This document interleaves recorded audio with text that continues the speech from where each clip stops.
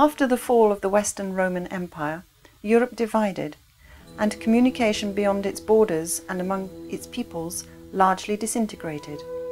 Historical time was frozen, and a great step backward in all areas of knowledge occurred.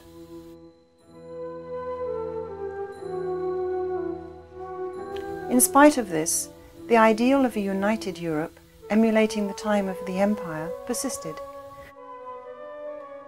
And in the 12th and 13th centuries, with its God-centered and closed view of the world, the Middle Ages began to show symptoms of exhaustion.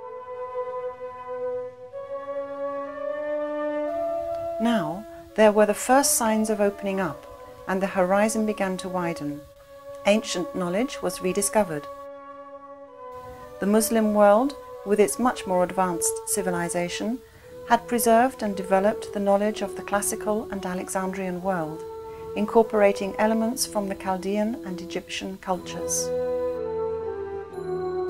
Supported by their culture-loving kings, places like Toledo and Sicily, with their multicultural relationships and exchanges, developed the art of translation. Muslims, Jews and Christians lived together in these places, and through their efforts and their work in common, turned them into points of entry for and dissemination of knowledge gathered until then.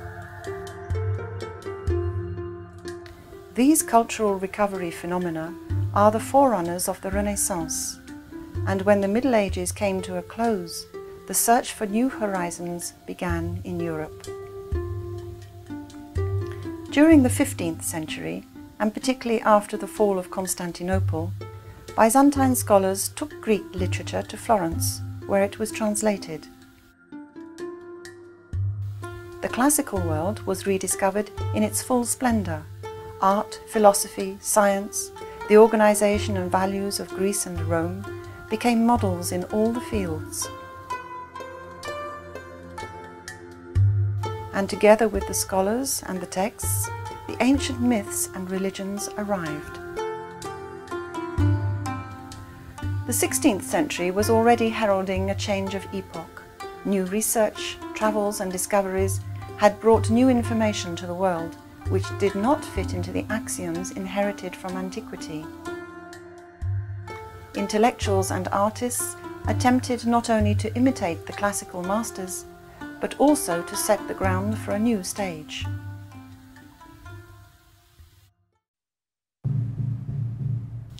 At Charles V's abdication in 1556, his empire was split. His son Philip II would reign over Spain, the Low Countries, and the domains of the Catholic king and queen. His brother Ferdinand would hold the eastern part of the House of Austria, and from 1558 he would be the emperor of the Germanic Holy Roman Empire. Charles hoped that at Ferdinand's death both parts of the crown would become united. Ferdinand's successor in the empire was finally his son Maximilian. Philip II accepted this on condition that the Archdukes Rudolf and Ernest, sons of his sister Mary and of Maximilian, travelled to Spain to receive an adequate Catholic religious education. This was because Maximilian's Roman orthodoxy was held in doubt. Rudolf was actually educated in Spain. From his 11th year to his 19th year, so in the most formative period of his education, he lived at the Spanish court. Um, he was, of course, the heir to the uh, Austrian Habsburg lands, um, and he was due to become Holy Roman Emperor. Um, his uncle, Philip II, made very sure that he was uh, heavily influenced by the Spanish branch of his family. Uh, subsequently, that relationship was not all that smooth. Um, for example, Rudolf steadfastly refused to marry, although he was supposed to marry his cousin, the Spanish Infanta, um, and that must have something to do with, uh, psychologically, with a sense of being repressed, perhaps dominated by the Spanish influence later on. But while he was a youth, he seems to have um, responded um, perfectly, uh, perfectly uh, soundly to the uh, Spanish influence at the court, uh, Madrid, uh, the early years of Escorial and so on, and the kinds of figure like Herrera who were influential in the court of Philip. There are some ways in which we might say uh, the mentality of Rudolf is quite close to that of Philip, um, and that's not by accident. Um, but equally, there are ways in which they became markedly different in terms of religious toleration. Uh, we shall find that Rudolf took a different line from Philip. Um, the trouble is we know very little about uh, the ways in which he was actually educated. We just have the names of a few pedagogues, a few teachers uh, who were with him in Spain. Um, but apart from that, we can only surmise that the kind of books which would have been in the Royal Library uh, of Philip uh, and the kind of books which he later, Rudolf, had in his own collections, uh, that he would have been reading those. What's perfectly clear, though, uh, is that the kind of interests which were manifested, the grandeur of Spain, um, in that period, uh, the very cosmopolitan range of Spanish influences uh, from uh, Western Europe across to the Americas and through the Mediterranean. In 1571, Rudolf returned to Maximilian's court and was crowned. First as the King of Hungary and Bohemia, and later as the Emperor of the Germanic Holy Roman Empire. Because of the type of organisation within the empire, his powers and room for manoeuvre were limited. From the beginning, he had to face the religious confrontation between Catholics and various Protestant denominations. More interested in the arts and the sciences than in religious wars, Rudolf II left Vienna and settled in Prague in 1582. Když se ptáme, proč Rudolf zvolil Prahu za své sídlo, uh, Uh, we may ask ourselves why Rudolf II chose Prague as his residence. Why, unlike his father, Maximilian II, had he not lived in Vienna? There is, in fact, more than one reason for this. The first reason was to continue with Ferdinand II of Tyrolene's court tradition who chose Prague as residence during the years 1548 and 1565. The second reason that Prague was under the Turks' permanent threat. Above all, Prague was six times larger than Vienna. Being a city built in such a marvelous way by Charles IV, it was and still is a beautiful city. It was evident that Rudolf II liked Prague and its hunting facilities, with its great number of hunting castles surrounding the city. It is well known that Rudolf frequently visited Brandýs castle. Prague fascinated and enchanted him with its surroundings and at the same time the extensive castle area which was being rebuilt and modernized gave him the opportunity to be at the center of European events and have enough space for his privacy and access to his scientists, artists and architects. Čili Praha takýmto způsobem je fascinovala. Prague, at the time of Rudolf II, was living through one of its golden periods. It was a frontier town, the heart of Europe, the seat of different cultures. As a result of this, Prague was chronically undergoing great effervescence and instability. Cultural phenomena had expanded and even became distorted as if in a curved mirror. On the other hand, it has been said that the Republic of Letters was something that continued functioning and that the epistolary communication systems were very important during the 16th century, whereby scholars wrote extensively to each other in a very open manner, a way we're far from conceiving even now. Today, no one could possibly write the extraordinary epistolary collections that were written during the 16th century. They were a means of communication, communication of ideas, and not until there was a partners institution in the 17th century, the mechanisms remained irregular. The epistolary system, the printing press, and other methods we have mentioned here Travel. I mean to say, there was movement of scholars, a constant academic migration. People did not normally teach at a single university, and they would not remain forever in any of them, choosing to journey through various universities. A scholar would lecture at one place for a few years and afterwards move on to another. They were asked to give some lectures and then go away, perhaps to return later on. So therefore we can see movement within the intellectual world, perhaps greater than one might expect. As in Rudolf II's court, so Maximilian II, who kept a good part of his father's dominions, witnessed a growing elite of historians, antiquarians, collectors, specialists in botany and minerals. New and old books were published. Rudolf II and many members of his court accumulated a treasure of great libraries, in addition to the ones already existing in monasteries such as Strahov. There was a fascination with accounts of travels, which included topographical, ethnological, and archaeological descriptions. A large number of inventions and mechanical devices were produced. Alchemists developed pharmacy and mineralogy. The observation of heavenly bodies and the detailed understanding of their movements made great historical strides forward. The Prague court was often visited by figures such as John Dee, astrologer of the Elizabethan court and a Christian Kabbalist, or by Giordano Bruno, philosopher and disseminator of the Hermetic tradition. The various intellectual and artistic disciplines, which related to the religious or mystical trends, referred to the same philosophical background and concept of the world that gave birth to the European Renaissance. Each element that is studied exists as part of a whole and within a harmonic order a system of relationships links heavenly bodies, plants, minerals, medicines, and colours. Likewise, the different parts of the human being were thought of as a microcosm. An intimate understanding of reality cannot be reached without the guidance of some inner light. This intuitive way of approaching the underlying reality of perceivable phenomena blends the figures of the scholar, the magician, and the artist.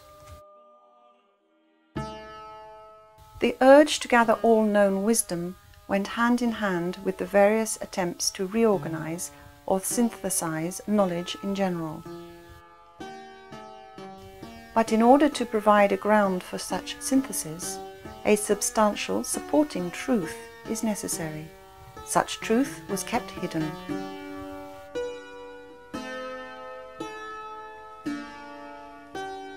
The collections of art and rare objects, or objects with special meaning, as well as alchemy and astrology, were Rudolf II's main interest. All kinds of experiments took place in Prague Castle, and Rudolf got directly involved in many activities, from handicrafts to those of an occult character. Some of his close collaborators, such as Hájek, his advisor in these matters, or Michael Maier, were court alchemists and physicians. A um, co se, co se té alchymie týče, no tak tam samozřejmě... As for the alchemy, it was a strange case. At that time, alchemy was not only about producing the philosopher's stone or the elixir of life. It was something more. It was about practical experiments that were important and meaningful.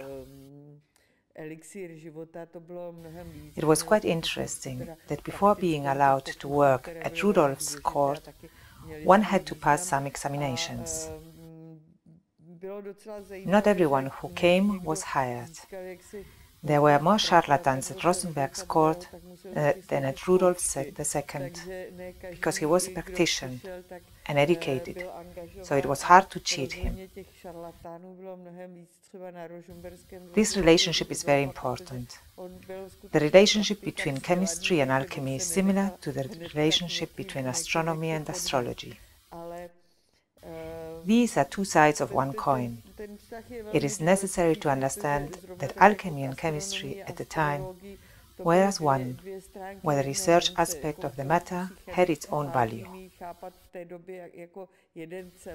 The spiritual aspect has been discovered recently because it is sometimes hidden in a complicated explanation of processing things. Many of those paranormal phenomena are presently considered a bit differently than in the past. Paranormálních jevů je dneska už také chápána trošku jinak, než jak to bylo dřív. The observation of nature and experimentation gained new intensity. Anatomical studies were made, collections, gardens, and zoos, plus the books on botany and zoology, show an intention to unify the diversity of all the manifestations of life.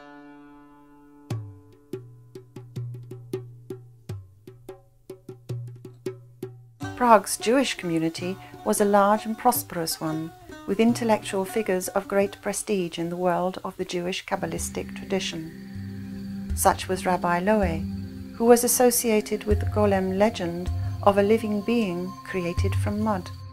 This legend and other searches, such as the one for the elixir of youth and the diverse and extensive research of natural phenomena, speak to us of the birth of an interest in understanding the secret of life, how to give life to the inanimate.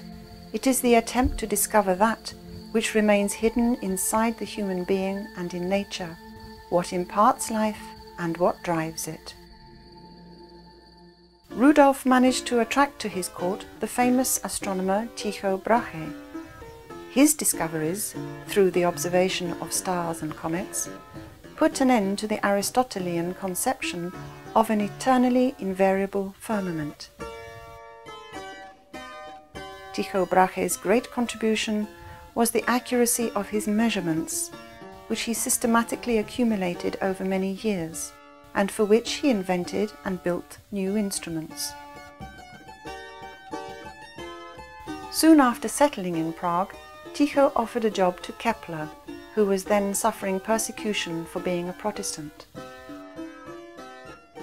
Kepler had already adopted the then revolutionary Copernican model, advocating the orbit of the planets around the Sun. Using Tycho Brahe's measurements, he developed the formulae that define the motion of the planets. The three Kepler laws and Newton's later explanation of the law of universal gravity laid the basis for modern cosmology. Moreover, Kepler's ideas and aims are in tune with Renaissance Neoplatonism. In his research, he tried to understand the work of the Creator who must necessarily have started from the pure geometrical forms to express his laws in a mathematically harmonious world. I can wait a hundred years for a reader, since God has waited six thousand for a witness.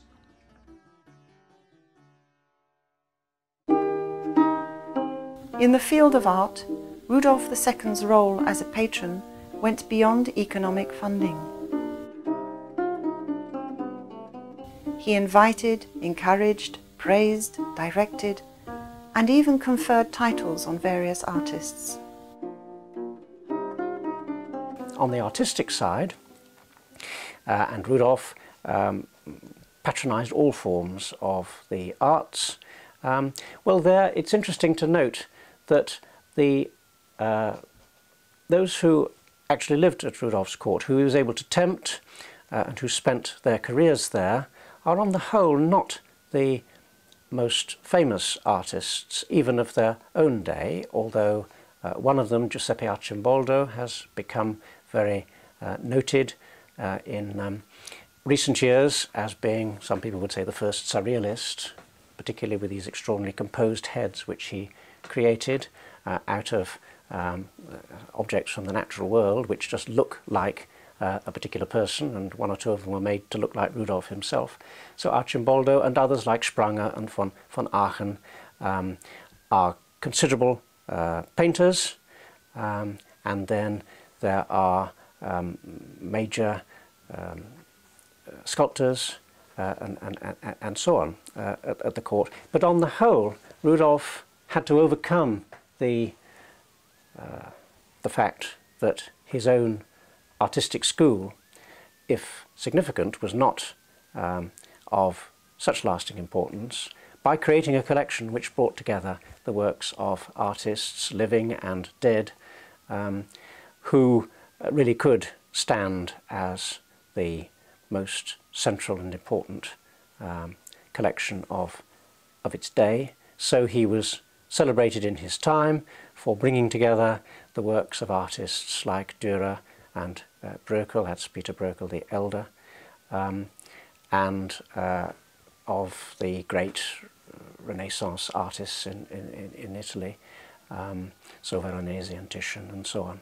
Um, and not just the painters, but uh, a great range of artifacts, sculptures and works of applied art and in some ways it was the applied art at Rudolph's court that was the most striking of all. Some of it created in local materials like Bohemian glass, um, some of the uh, most remarkable creations of the day uh, were brought together in Rudolph's collections um, and these did duty as it were for the uh, artists themselves who might uh, be absent um, and allowed him, and this is very interesting about the collections, we don't fully understand the mentality of those who collected in the Renaissance period, but we do have a sense that they were seeking in their collections, if they had the money um, and the scope to create them, they were seeking to bring together this world, this fractured universe, which they were trying to maintain as a single whole and to understand.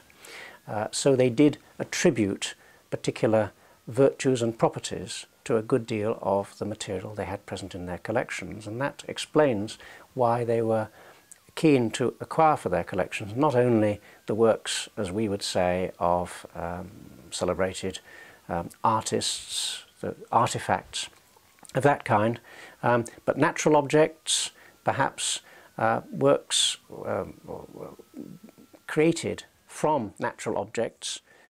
Although nominally a Catholic, Rudolf II did not take part in religious persecutions. He allowed a denominational plurality which went against the religious monolithic trend being forced on the great European nations. Co eh, se můžeme od toho rudolfínského fenoménu naučit, je, myslím si, že je to především ta velká míra tolerance. What we can learn from the Rudolfian phenomenon is especially the high degree of tolerance. It was immensely characteristic for Rudolf. He did not mind whether people were Catholic, Protestant, Adamite, Calvinist. If they had one or two legs, fundamental for him was whether a man could do anything and could excel at it. So the diverse society that represented the best in Europe, regardless of political, national or religious affiliation, could meet in Prague. Rudolf also had the ability to keep a balance among individual groups which formed that society. His seemingly negative approach to problem solving was in fact an intentional delay in decision making so that he did not have to agree with somebody and so disturb the balance. In my opinion, it was the most significant quality of Rudolf's government. When Matthias, who was noticeably Catholic orientated, disturbed that balance and that pursuit of tolerance, Europe collapsed into the tragedy of the Thirty Years' War. Jaksi výrazně katolicky orientovaný, tuhle rovnováhu a tu snahu o, o snášenlivost porušil, tak se Evropa teda zhroutila do, do uh, toho neštěstí 30 války. This was a time notable for its changeable and convulsive religious atmosphere. You could sense the change of epoch. Apocalyptic prophecies got ample diffusion, but there was also a belief in an imminent arrival of a new era of peace and prosperity, rooted in a spiritually reformed human being. Neoplatonic like Bruno referred to a natural religion that preceded Christianity and that is believed to go back to ancient Egypt and from which all the greater Western and Middle Eastern religions derive. Others looked into the Kabbalah for the essential meaning of biblical revelation. By going back to an earlier and rooted truth, these formulations created the basis for solving religious confrontations. Christian ecumenism and humanism, with its cosmopolitan and tolerant character, were moving in the same reconciling direction. But these tendencies did not materialize into a force capable of overcoming circumstances. The abandonment of the sacraments and the many visits of magicians and alchemists, plus Rudolf's increasing absence from public life, gave rise to the rumor that he was possessed by demons, and this spread among the Catholics. Rudolf progressively lost power. In 1608, his brother Matthias took over Austria, Hungary and Moravia. Rome and Spain gave approval to his military advances. The Protestant side obtained the Majesty Chart from Rudolf II, which allowed a free choice of religious practice. In 1611, Matthias entered Prague in triumph, and Rudolf, forced to abdicate, remained in the castle as a recluse until his death in 1612. In 1618, after failing to comply with the Majesty Chart, he was ousted and this gave rise to the Thirty Year War that devastated the center of Europe. Praga, que, gran Praga que dura muy poco, ¿no? porque milse, en 1620 se produce la batalla de Vilahora, es decir, la batalla de la montaña, de la montaña blanca. Grand Prague did not last very long due to the Battle of Vilahora, which took place in 1620. By the year 1648, the last year of the Third Year War, the extensive looting had become another serious blow for the city. Prague would not be what it had been under Rudolf II's reign until much later. Furthermore, the king's collections had become totally dispersed. Even today, many of the items in the original collections have not yet been recovered. Be it a precious book, such as the Codex Argenteus, marvelous works of art, paintings, and so forth, gold and silver pieces, are still spread over the four cardinal points and can be found in many major museums all over the world. It was clear in that sense the Czechs had obviously seen the highlight of Prague's splendor coinciding with Rudolf II's reign. After his death came very hard times for the city. Prague met a true Iron Age, an age of calamity. Eh, Praga se, se conoce una, una, una, verdadera edad de hierro, ¿no? edad de, de, de calamidades después de la muerte de, de Rodolfo.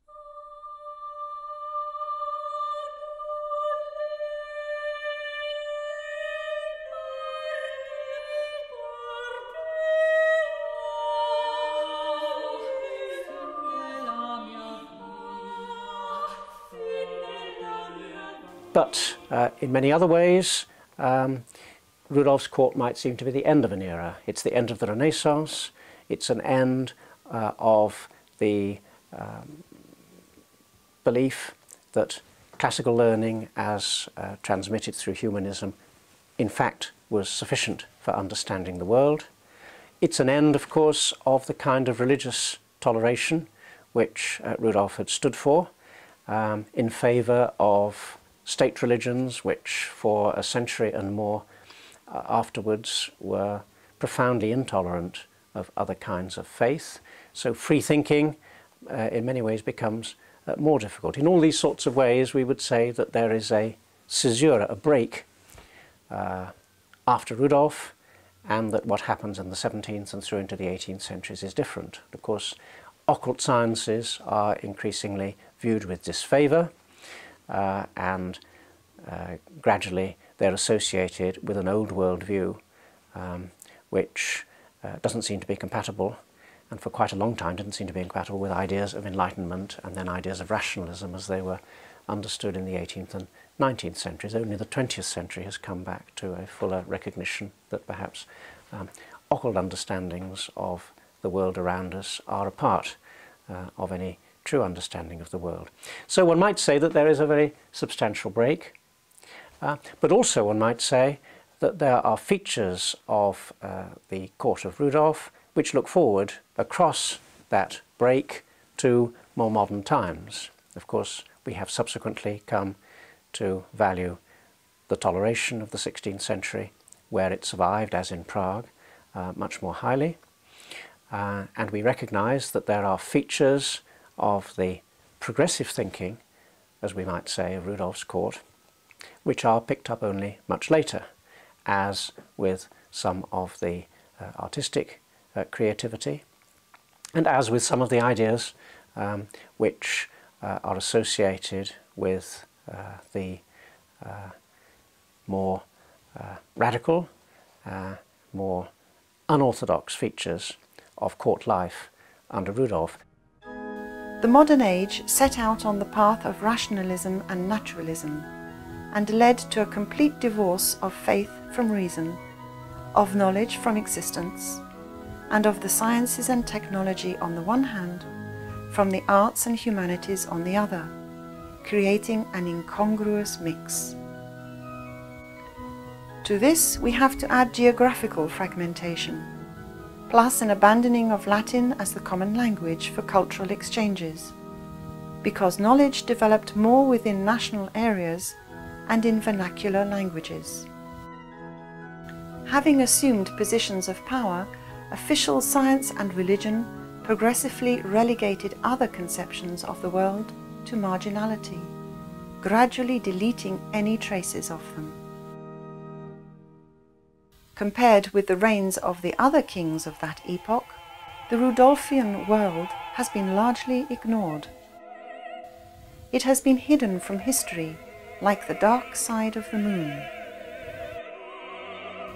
But if we are to understand our present day condition, we cannot ignore it.